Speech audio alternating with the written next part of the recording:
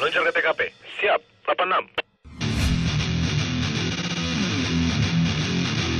Kami dari Satlantas Polres Lahat sering melakukan kegiatan hunting ini untuk meminimalisir terjadinya laka lantas di Kabupaten Lahat ini dan juga menertibkan pelanggar-pelanggar sejak dilakukannya kegiatan hunting secara rutin hasilnya juga maksimal.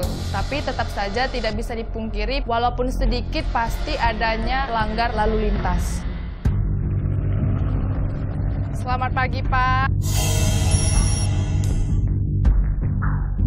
Maaf mengganggu perjalanan Bapak bisa diperlihatkan surat-surat SIM STNK ini nak ke mana ini Pak? Ini rumah. Oh ini rumah. Dari situ dari mana itu Pak? Warung. Dari warung. Warung mana? Dekat jembatan itu. SIM-nya? KTP-nya? Lagi datang.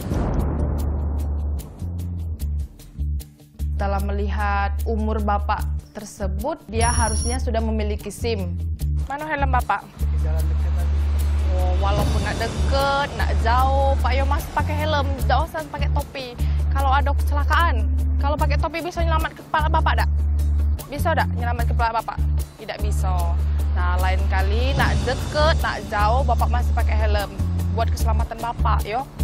Ini, ini kalau bisa diganti, Pak Yo spionnya nih. Soalnya kecinian, Bapak kecil ada uang di belakang itu kalau lagi bawa motor.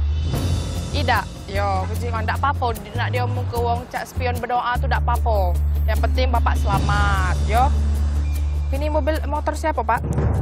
Beli? Aku cak mana? Beli di mana? Ada BPKB-nya. Platnya ni sini, Pak. Tengok dulu platnya. Ngapo nak ni anak dilipat-lipat nih? Kalau ada anak-anak nyangkut, luko, gores, cak mana? Ngapo? Biar ngapo ini biar dilipat nih? Tidak. Dapat dari samsat tu dak do cak ini lurus bae dia onyo, Pak. Yo.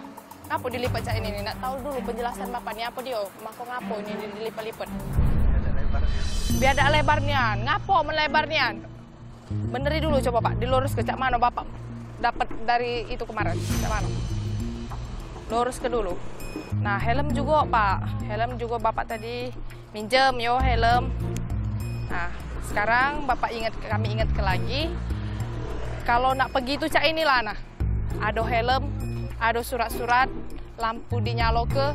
Ini yo ndak bosan dimodif-modif, yo. Tahun ini diganti SIM-nya Pak yo, jangan lupa ndak diganti. Tidak jauh dari lokasi tersebut, tugas kami menemukan pelanggar seorang perempuan yang lagi-lagi tidak menggunakan helm. Selamat pagi, Bu. Salim dulu kita. Halo, adik cantik. Nak ke mana ini, Bu? Nak ke tempat uang serta. Nak ngerewang? Iya. Iya. Surat-suratnya dibawa, Ida? SIM, STNK-nya. Kalau SIM belum punya. SIM belum punya. Ngapa belum punya? Belum punya duit. Ngapo buat SIM kan cuma 100 bayarnya. Bayar banknya. Iya cuma 100. Mahal dari mana? Ibu dah usah dengeri wong kiri kanan. Ibu ke Kemarin sana. itu kan Siapa? di rumah dinas tuh.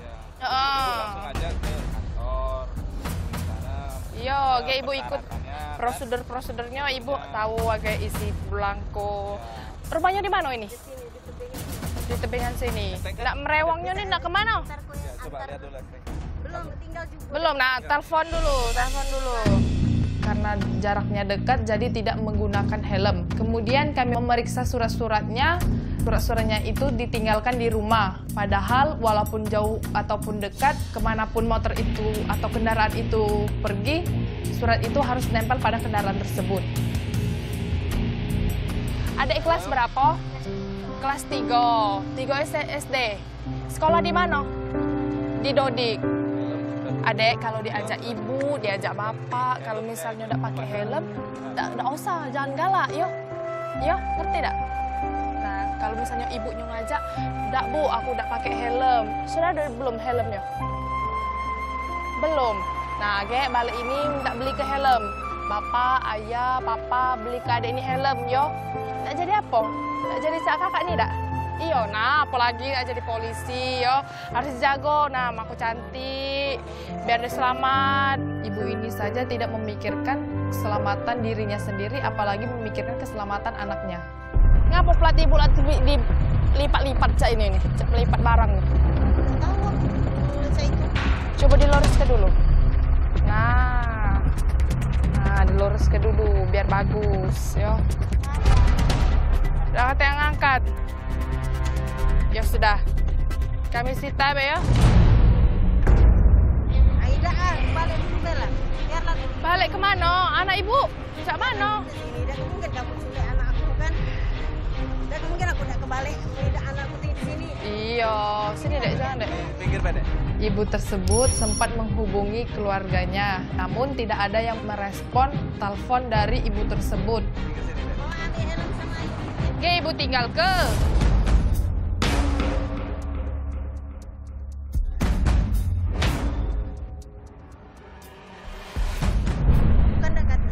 Iya, surat-suratnya sekarang saya tanya, mana Bu sekarang nih posisinya sekarang pada saat ini jam segini mana Ibu suratnya tidak punya kan? Aku ini dia ngangkat anakku ni cak mana? Tidak ngangkat.